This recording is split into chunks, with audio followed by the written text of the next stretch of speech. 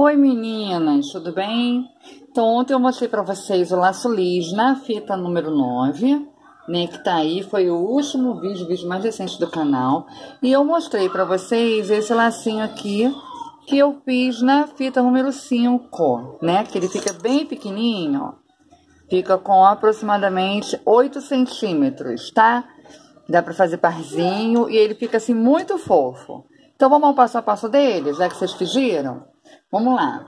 Para fazer o lacinho, eu vou precisar de quatro pedaços da fita número 5. Tá? Lembrando que a fita número 5, ela pode variar aí entre 22 e 25 milímetros, tá? Essa aqui, por exemplo, que eu estou usando, não é importada, ela é 25 milímetros, tá bom?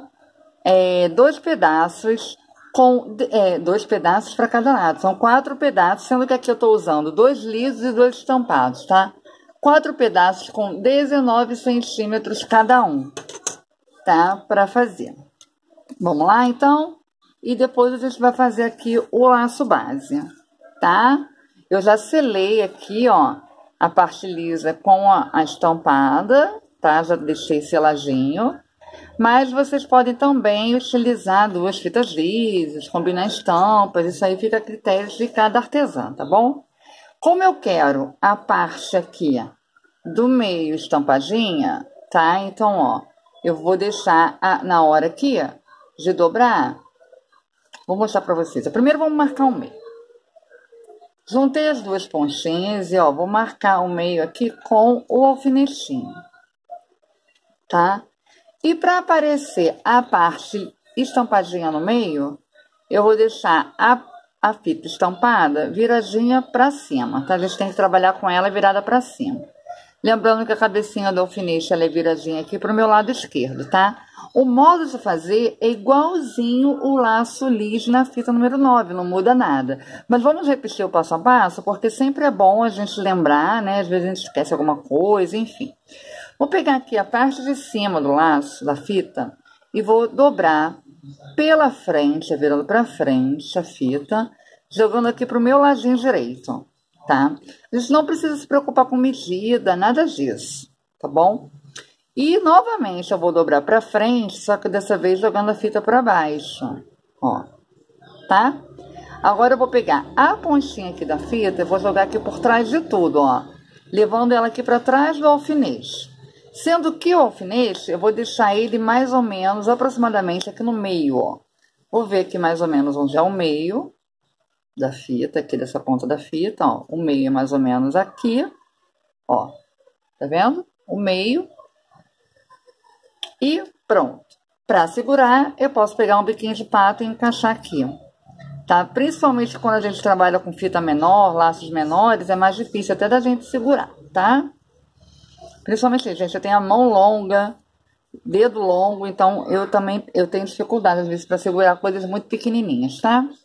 Então vamos lá, para fazer o outro pedacinho aqui, a gente vai fazer a mesma coisa. Vamos dobrar virando pela frente, ó, jogando aqui pro meu lado direito, tá?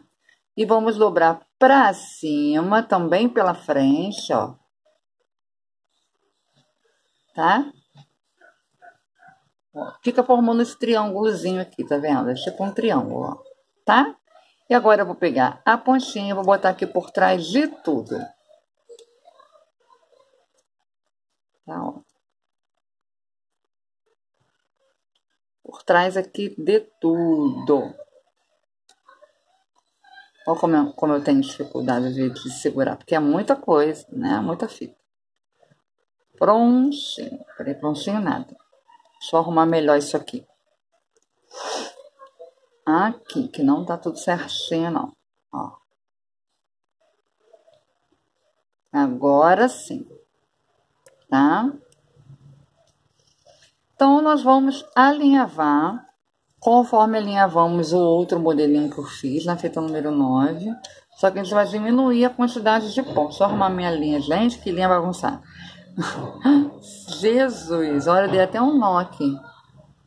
Deixa eu arrumar essa linha, gente. Ela criou, ficou muito comprida. Minha gata já andou passeando aqui, já puxou minha agulha. Ô, Senhor. e uh, como eu estava falando, a maneira de alinhavar é a mesma, só que nós vamos diminuir a quantidade de pontos, tá? Nós vamos usar só quatro pontinhos, tá bom? Começando por cima. Então vamos lá, agora sim, ó. Eu vou, como eu mostrei ontem, ó, a gente dá uma dobrinha aqui, pequenininha, bem aqui na pontinha, ó. Tá vendo essa aqui? Bem aqui na pontinha da fita. E aí eu vou encaixar o primeiro pontinho pegando todas as pontas, ó. Aqui eu não peguei as de baixo, tá vendo que ela tá pra trás? Então, ó, eu vou dar uma arrumadinha nela aqui, pra poder pegar aqui todas as pontinhas, tá? Agora sim, ó. Peguei todas as pontinhas aqui, ó. Uma, duas, três, tá? Ó. Comecei aqui por cima, peguei todas as pontas. Então, vou dar mais uma próxima ao alfinete aqui, ó. Dois pontinhos. Eu vou soltar esse bico espato. Uma arrumada aqui, deixar tudo alinhado. Então, depois do alfinete, eu vou dar mais um pontinho, ó. É o terceiro. Tá? E aqui eu vou fazer a mesma coisa. Eu vou arrumar essa dobrinha aqui. Deixar ela bem aqui na pontinha, ó. Tá? Na pontinha aqui da fita, ó. E vou pegar o meu quarto pontinho aqui, todas elas, todas as fitas, ó. Tá? Posso soltar aqui o alfinete, vou franzir, ele dá um franzido pequenininho, porque são quatro pontinhos só, tá? Vou aqui voltar com o meu alfinetinho, minha agulhinha, para poder firmar bem aqui o franzido. Fica durinho e às vezes é ruim de pegar, de puxar. Ó. E vou dar um nozinho aqui pra gente poder... Eu gosto de dar esse nozinho, gente, pra poder segurar bem o franzido, tá? Pra poder finalizar, ó. Deixa eu cortar esse excesso aqui também de pontinha de linha. Ó, já fizemos aqui, ó, ó, um ladinho. A gente já dá uma acertadinha aqui, dá uma puxadinha na fita para poder arrumar, deixando sempre a peça bem arrumadinha, tá? Olha, ele vai ficar assim. Ó. Tá? Agora, deixa eu dar um nozinho aqui, vamos fazer o outro lado. O outro lado é a mesmíssima coisa. Não muda nada, tá bom? Então, vamos lá. Vou dobrar a fita ao meio, deixando a estampa pro lado de fora. Juntei as pontinhas aqui, ó. Dou uma esticadinha aqui para baixo, para deixar bem certinho. E marquei, ó, Dou uma furadinha aqui, marquei o meio, tá? Ó, vou virar a cabecinha para o alfinete aqui pro meu lado esquerdo, tá? Trabalhando com a estampa para cima. Então, agora eu vou, ó, dobro para baixo, pela frente, tá? Jogando a fita para frente. E viro aqui pro meu lado direito. A gente só não pode ultrapassar o alfinete, tá, meninas? Ó. E agora eu vou dobrar novamente para baixo, ó, pela frente. Formando aqui esse triângulo, ó, esse formato aqui. Eu pego essa pontinha, vou jogar para trás aqui de tudo, centralizando o alfinete aqui nessa parte da fita mais ou menos aqui, ó, o meio. Aqui, ó. E aí eu coloco um biquinho de pato para dar uma seguradinha. Mesma coisa aqui. Vou dobrar, ó. Jogando pela frente, jogando pro meu ladinho direito. Agora eu vou jogar para cima, dobrando também para frente, ó. Tá? Peguei a pontinha aqui, vou jogar por trás lá de tudo. Tá? Alinhando aqui, deixando uma atrás da outra, tudo certinho. E agora nós vamos também alinhavar. Deixa eu arrumar aqui que correu aqui, ó. Agora sim tá centralizado. Então, ó. Vou fazer aquela dobrinha aqui. Arrumar aqui o lacinho. A gente sempre, eu, eu quando estou trabalhando aqui, vou sempre dando uma arrumadinha na peça. Porque se a gente não arrumar a peça, depois que a gente franze, tudo, a peça fica, parece que fica torta, sabe? Eu gosto sempre de dar um jeitinho, tá? Ó, dou uma seguradinha aqui. Vamos lá, o primeiro pontinho vai pegar todas as pontas, ó. Tá? Todas elas, ó.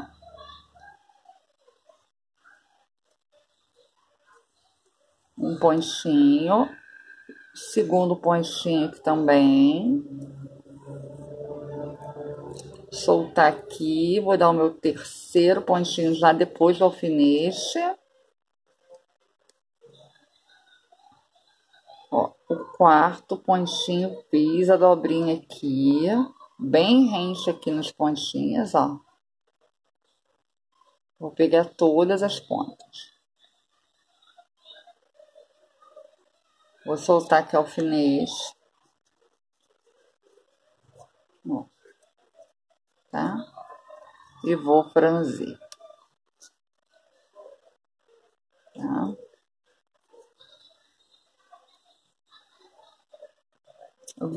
Volto aqui um pouquinho com a minha agulha, para poder firmar o pontinho bem.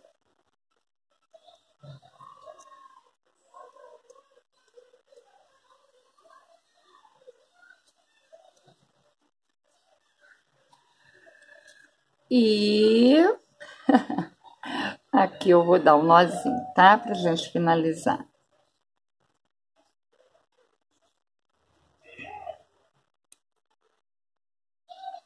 E já vou deixar também esse ladinho arrumadinho pra gente poder fazer o laço base, tá? Ó.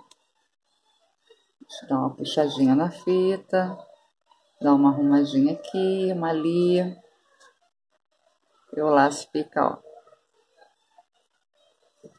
Opa, arrumadinho, tá? Eu já vou deixar junto essas duas partezinhas aqui, ó. Vou passar cola quente aqui, tá? E já vou juntar aqui. Esse lacinho, gente, eu acabei que ontem no outro vídeo eu nem falei. Quando ele fica pronto, ele fica abauladinho assim pra cima, ó. Tá vendo que aqui ele tá mais, ó. Vocês vão conseguir ver que aqui ele tá fundinho, ó. Tá vendo? Ele vai fazendo assim. É normal, tá? É pra ele ficar assim mesmo, porque ele fica armadinho, ó. Tá vendo, ó? Ó, ele fica assim, tá? Por isso a gente tem um lacinho base até para poder ele ficar mais armadinho, mais fofo ainda. Tá? Para o laço base, eu estou usando dois pedaços de fita e aí fica também opcional aí para você de casa. Se você quer usar a fita lisa ou a fita estampada. Eu optei pela lisa até porque não tem muita fita estampada. Então, é uma maneira de eu economizar a estampada, tá? Porque gasta tão pouquinho, né? São dois pedacinhos de fita número 5, ó, com 17 centímetros, tá? Mas não se preocupe, porque todo o material vai estar escrito aí na descrição do vídeo Lá no finalzinho, eu sempre, em todos os vídeos, deixo o materialzinho lá para vocês. Tá tudo explicadinho. Então, vamos lá. Eu vou juntar as pontas da fita novamente, ó. Tá? Agora, eu vou pegar a parte que tá em cima e vou ó, arrastar até chegar aqui ponta com ponta, ó. E agora eu vou pegar, eu estico bem para baixo, vou pegar essa parte aqui e vou botar esse pedacinho aqui, ó, essa fichinha aqui, essa dobra aqui, aqui centralizada no encontro das duas pontinhas aqui em cima, ó, deixando no meio, assim, ó. tá? E agora, quem quiser colocar um biquinho de pato para segurar, pode, mas eu já vou costurar direto, tá? Eu vou dar oito pontos, seis pontinhos, ó. Um, começando por cima, um pontinho aqui. O segundo, eu já vou pegar aqui todas as pontas. O terceiro, eu vou pegar aqui na pontinha. Pegando a pontinha aqui, ó. Tá? O quarto, eu também vou pegar essa pontinha aqui, ó. O quinto, a pontinha aqui. É sempre nas pontinhas, gente, ó. Pontinha aqui. E o sexto, essa última ponta aqui. Então, ó, ponta, ponta, ponta, ponta, ponta, ponta, tá? Pronto. Esse lacinho base ele é super prático. Vocês podem não só usar ele como base, tá? Eu já fiz dele parzinho para vender muito esse lacinho. E vende super bem, tanto na fita número 9 quanto na fita número 5. Lacinho básico, de cores lisas, tá? Super bem aceito pelas mamães. Ele é rapidinho de fazer, super fácil. Fica muito bonitinho montado com o acabamento, né? Quando a gente faz o acabamento dele bonitinho lá na fichinha número 2 e tal, ele fica bem fofinho, vende bem. Ele fica parecendo um lacinho cruzado, né? E fica mais armadinho, tá?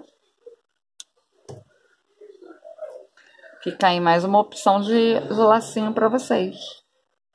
Depois eu até vou fazer ele uns pequenininhos mesmo, porque eu tô sem lacinho básico pequeno e eu vou fazer um evento final de semana e mamãe sempre gosta. Ó, o outro lado, mesmíssima coisa, juntei aqui pontinha com pontinha, ó, juntei um por cima do outro. A parte que tá em cima, eu vou, ó, arrastar até chegar aqui na ponta. Aí eu estico bem aqui para baixo, ó, e vou pegar meio aqui, vou colocar aqui, na junção das duas pontinhas. Ó. Tá? Então, vamos lá dar os seis pontinhos, ó. Um, peguei na pontinha. O segundo, começando por cima, hein? Peguei a pontinha. O terceiro, peguei aqui a outra pontinha, O quarto, peguei mais uma pontinha aqui. O quinto mais essa pontinha daqui. E o último, a pontinha final. Opa! Aqui, ó. Tá? Vamos franzir.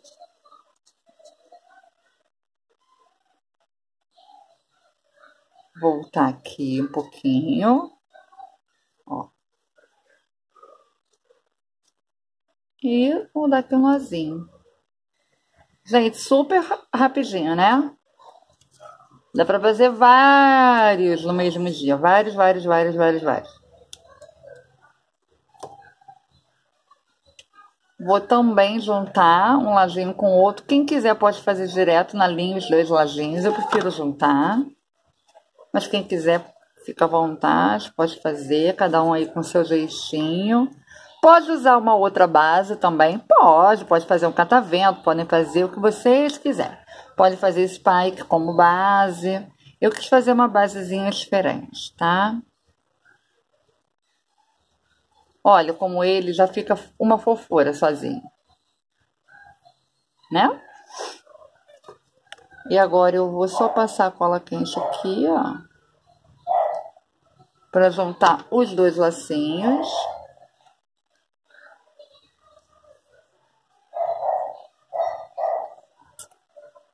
para esse modelinho, né, nesse tamanho, como eu, como eu falei, ele fica com 8 centímetros.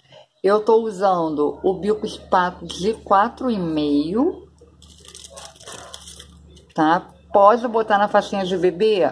Pode. Pode botar na xuxinha para fazer parzinho? Pode. Ele fica lindo, tá?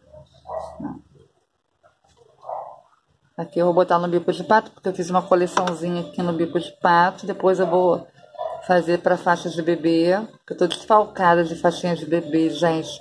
Fazer várias essa semana, tenho que trazer para vocês alguns modelinhos aí. Tá?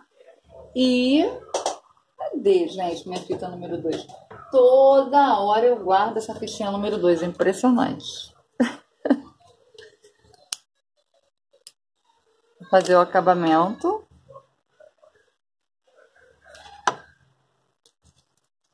Tá, ó. Começar aqui no meio.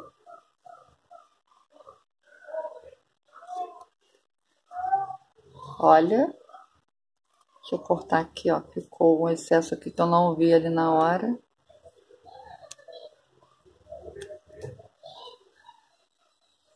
Pronto. E terminar aqui atrás. Vou mostrar agora as outras estampinhas que eu fiz para vocês verem. Eu não tenho muita fita número 5 estampada, mas eu fiz até pra, pra acabar logo com elas, né? eu fiz aqui alguns modelinhos, ó.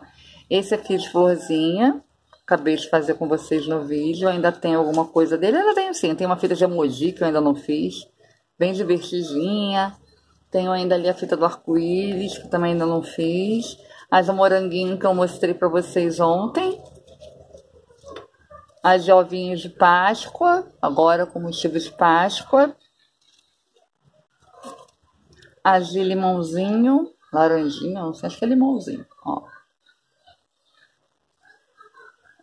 Unicórnio. Essas de frutinhas. Essa degradê e essa do símbolo do autismo. Assunto que iremos falar de repente amanhã ou hoje, talvez, em um outro vídeo. Para quem não sabe, eu sou mãe de duas crianças autistas, né? O Pedro e o Dante são autistas. Muito orgulho de ser mãe de uma criança portadora do TEA, né? Que é o transtorno do espectro autista. Então, vou falar um pouquinho para vocês sobre isso, deixar o questionário no vídeo que eu vou fazer para quem tiver dúvida de se o filho é ou não portador do transtorno do espectro autista. É isso, meninas. Dia 2 de abril, dia da consci... conscientização do autismo, use azul, tá bom? Vista azul. Meninas, é isso. Até o próximo vídeo. Espero que vocês tenham gostado. Fiquem com Deus, tá bom? Deixe comentários de vocês aí. Tchau, tchau.